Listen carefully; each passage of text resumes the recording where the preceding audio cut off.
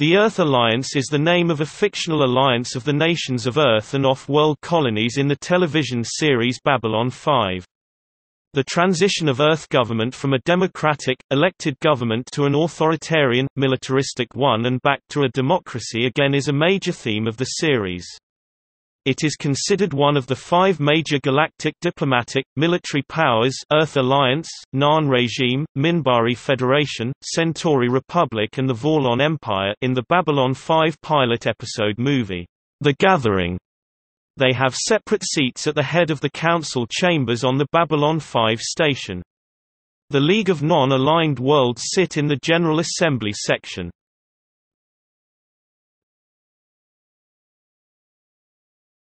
Topic: Structure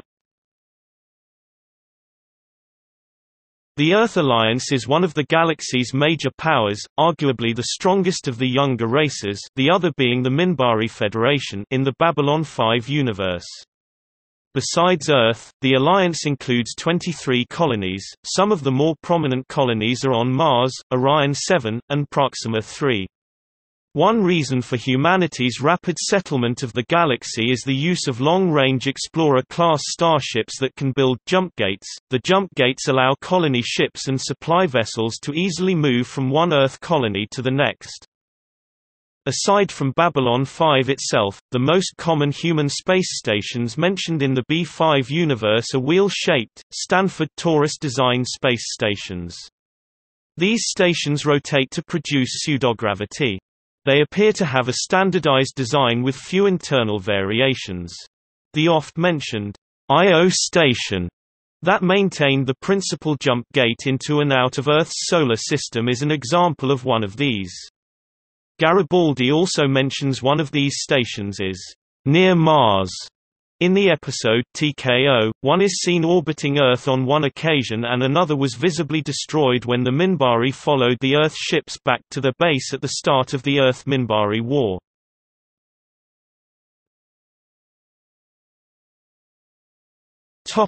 Military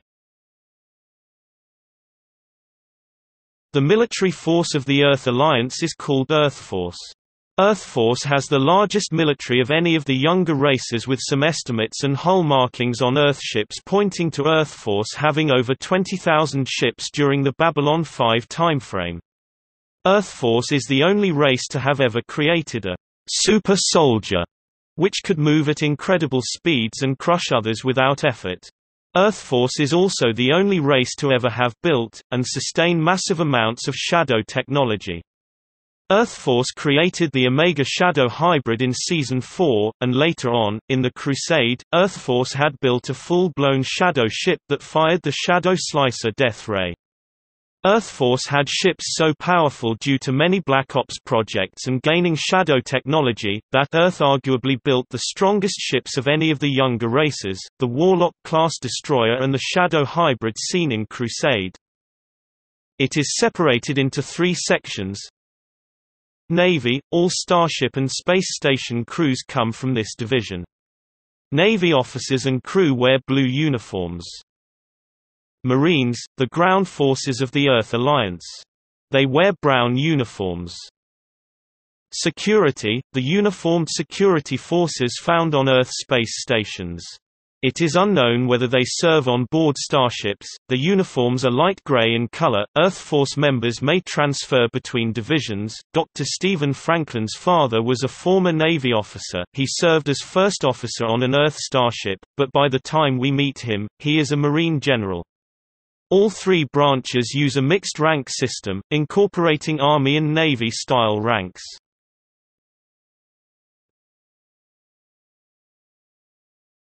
Topic: Early development.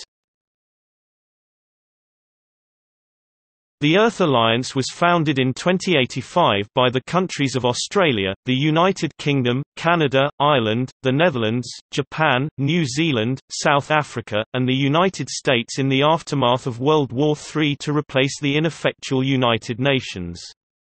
The founding nations also made a strong attempt to explore space by setting up bases on the Moon and a colony on Mars by 2090. The government of the Earth Alliance is called EarthGov and is based in Geneva, Switzerland. The Earth Alliance is a representative liberal democracy for most of the series. EarthGov is regulated by the Earth Alliance Constitution, which bears a strong resemblance to the United States Constitution and the British parliamentary form of government the Westminster system. The chief executive of EarthGov is the president, who in turn has a vice president and other assistants called ministers.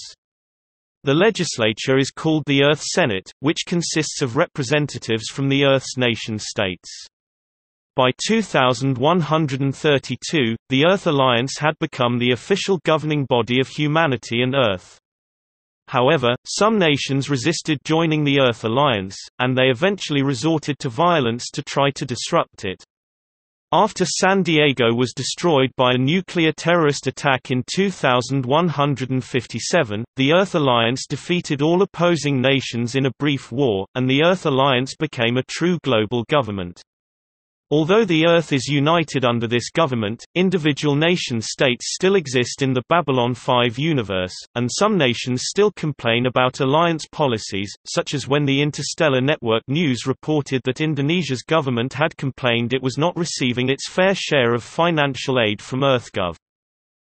The Earth Alliance began sending ships into space in which people had been put into stasis in the hopes of finding alien life.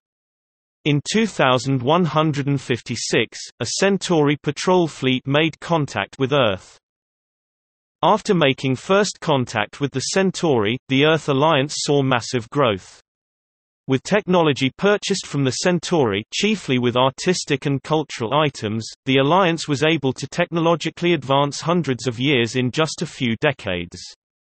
Humans began establishing footholds in other star systems.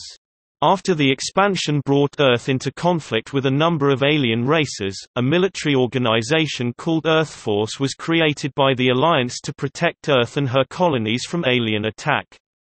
In 2230, in response to pleas for help from the League of Non-Aligned Worlds, the Earth Alliance joined the war against the Dilgar.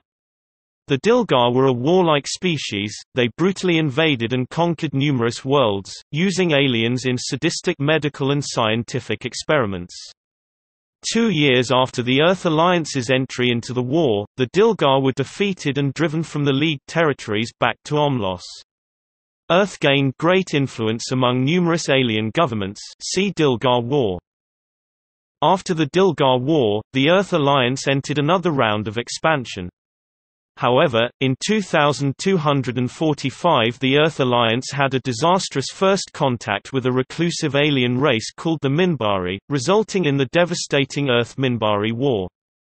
The Minbari had been a space-faring race for at least a thousand years and wielded powerful technology, surpassing the capabilities and resources of the younger races at that time. The Minbari Sharlin warcruisers possessed powerful slicer Beams which could fire from a superior range, as well as an advanced form of stealth technology which prevented the Earth Alliance ships from achieving an automatic target lock, leaving only the option of an ineffective manual lock instead.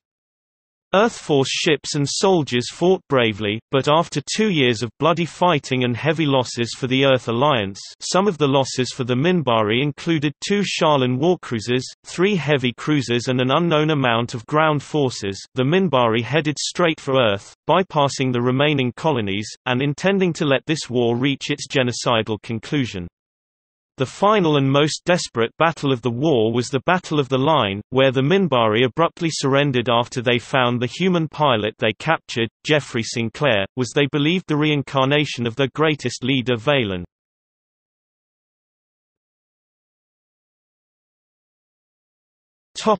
Rise of a dictatorship In the years after the Earth-Minbari War, the Earth Alliance began a massive effort to rebuild its military strength. Great emphasis was placed upon the development of new and improved weapons and warships.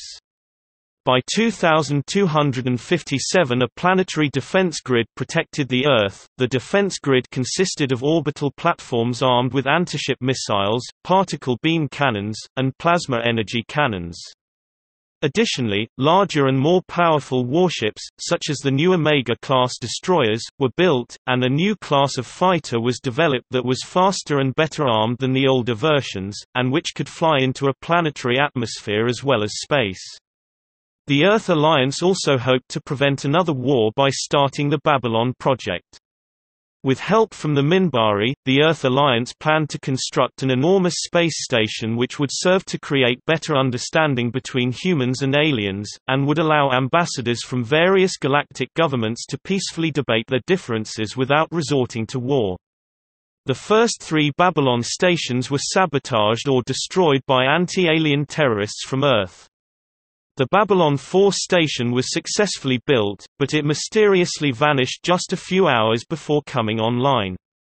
Finally, the Babylon 5 station was built and opened in 2257 to interstellar commerce and diplomacy.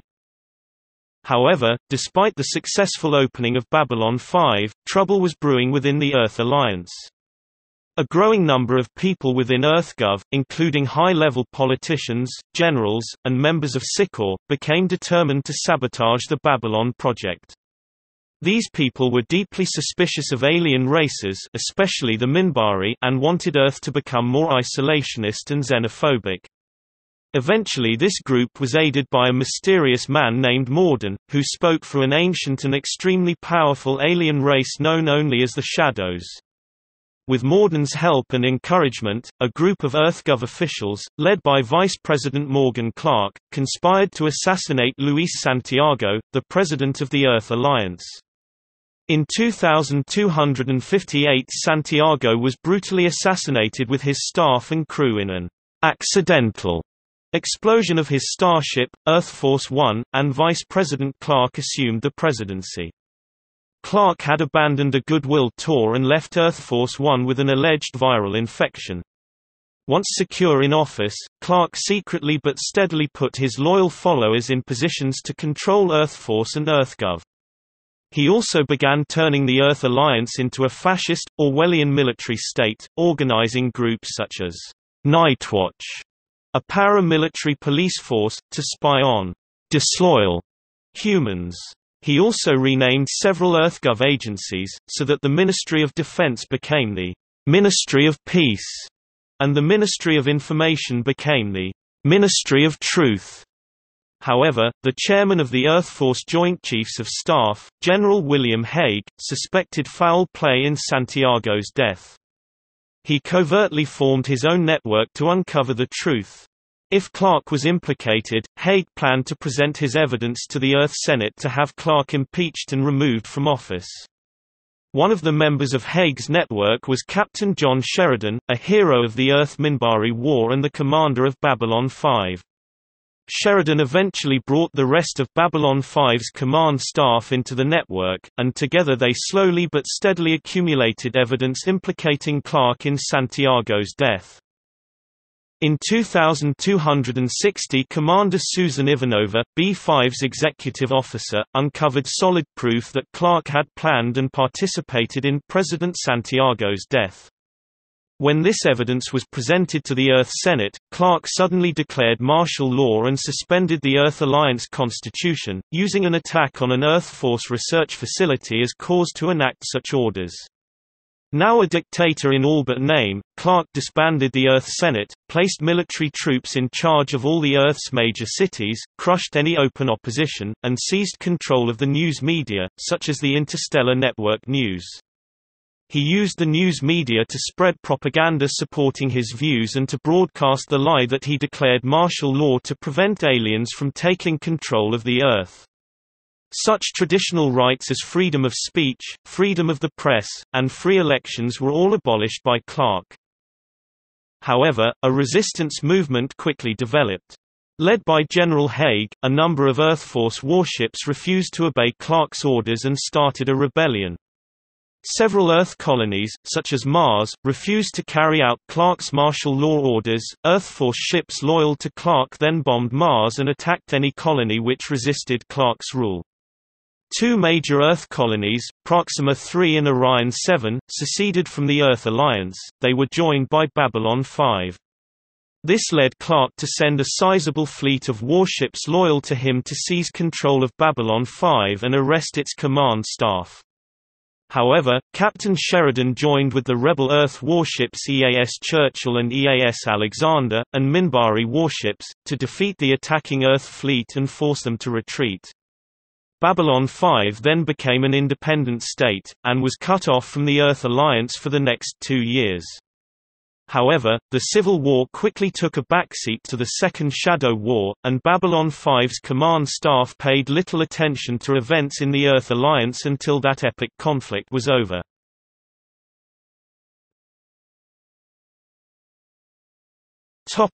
Earth Alliance Civil War After the Second Shadow War ended, Captain Sheridan turned his attention to overthrowing President Clark and liberating Earth and its colonies. A key turning point came when warships were ordered by Clark to lay siege to the rebellious Proxima III colony to keep it within the Earth Alliance. When warships loyal to Clark attacked and killed 10,000 innocent civilians trying to escape, Sheridan took his highly advanced White Star fleet to save the colony. In a brief but brutal battle, Sheridan's White Stars disabled or destroyed several Omega-class destroyers, but his victory was mainly due to the fact that he convinced several more than half of the Earth Force destroyers present at the battle to switch to Sheridan's side.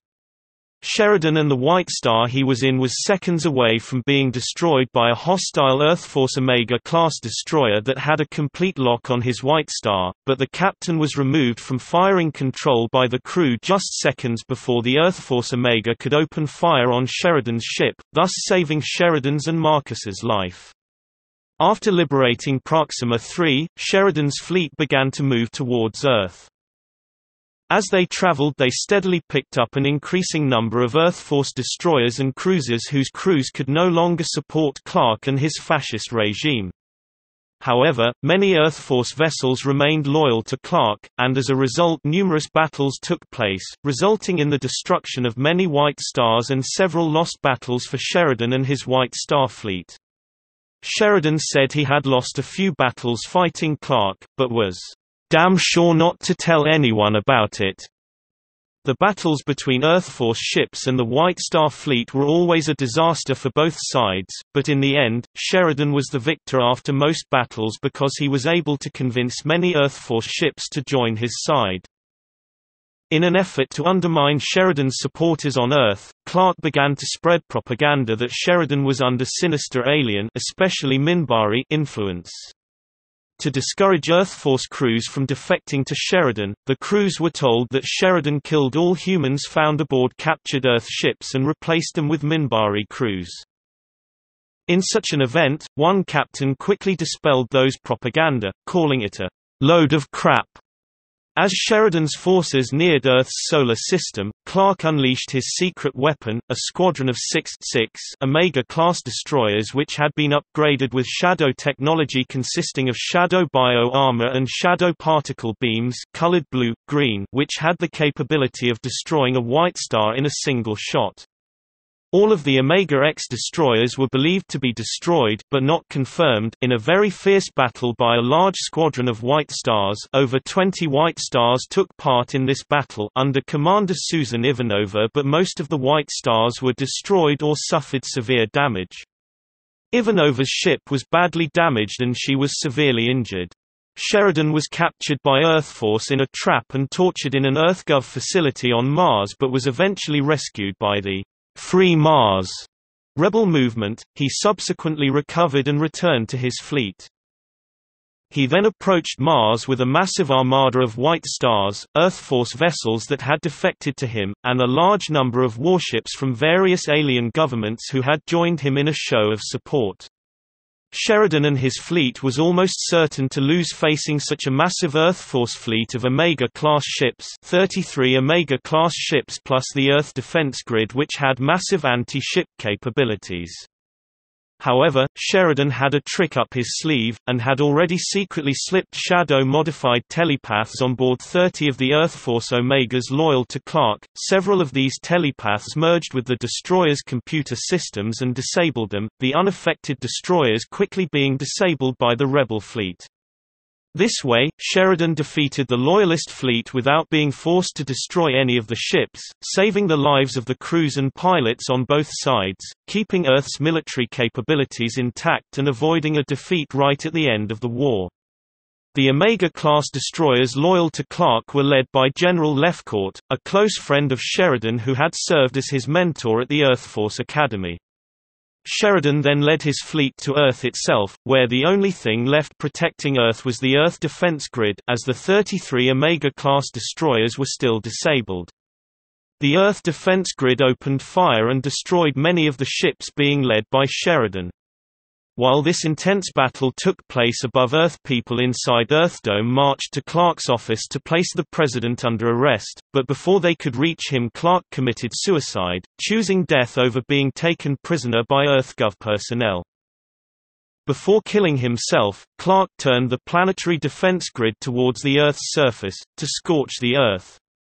To prevent the planet from being devastated, Sheridan's fleet destroyed the defense grid before any damage was done to the planet. Sheridan's ship Agamemnon was saved from destruction in the battle by General Lefcourt's destroyer Apollo, which had just arrived from Mars. With Clark's death, Senator Susanna Luchenko of the Russian consortium was named the New Earth Alliance president. In a prior agreement with the Free Mars movement, Sheridan convinced President Luchenko to grant Mars its independence. With Clark's downfall, martial law was ended and democracy and the Earth Alliance constitution were restored.